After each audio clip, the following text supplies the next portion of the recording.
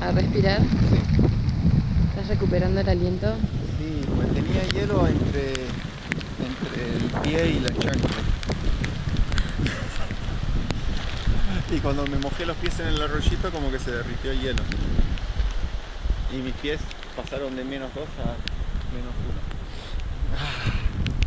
1. A ver, estos pies.